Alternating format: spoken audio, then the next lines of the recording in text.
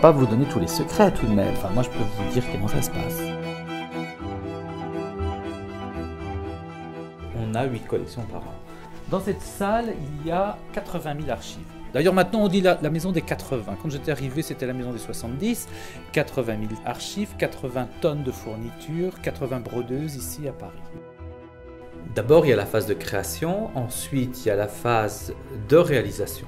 La phase de création, ça part toujours d'un input de M. Lagerfeld et qui imagine pour chaque collection, eh bien, euh, c'est une histoire.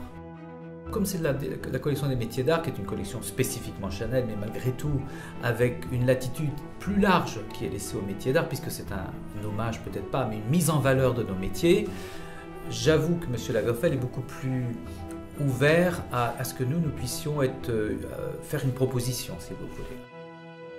Ensuite, nous, on a ces éléments de patronage qui arrivent comme ça en papier. On dessine la broderie par rapport à notre échantillon, mais qui doit être mis en conformité avec le patronage. Ce qui fait qu'on fait des maquettes en papier comme vous venez de voir là, parce que ça nous donne tout de suite le volume. On se rend compte si c'est bancal ce qu'on a fait ou est-ce que c'est correct.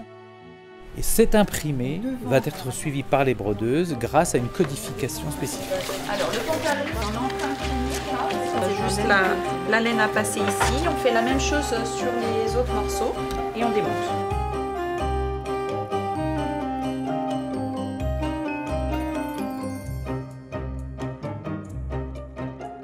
Donc euh, nous, la maison Le Marié, en fait, on a plusieurs euh, vraiment savoir-faire qui sont euh, très spécifiques et indispensables à la haute couture et au prêt-à-porter de luxe, en fait, puisque on est plumassier, on est fleuriste, on travaille de la, on dit souvent de la couture qui n'est pas une appellation qui traduit vraiment tout ce qu'on fait, puisqu'on fait davantage de la manipulation textile et puis de l'ornementation à partir d'un petit morceau de tissu. Les, les, les couturières jouent vraiment avec le tissu.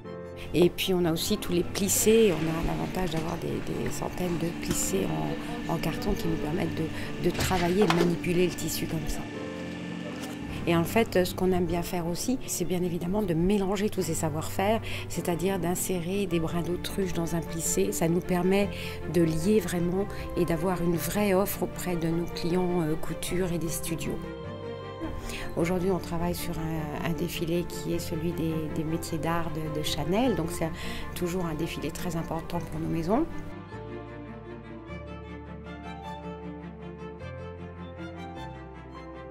Il y a un tri au préalable qui a été fait pour euh, choisir des coquilles euh, noires d'oie.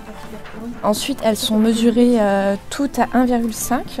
Puis après, on vient déposer un tout petit peu de colle sur la pointe puis elles sont collées en fonction du gala. Là c'est gaufré parce que là j'appuie pas. Là je roule juste comme ça. Il faut 10 pétales comme ça. Monter ma fleur.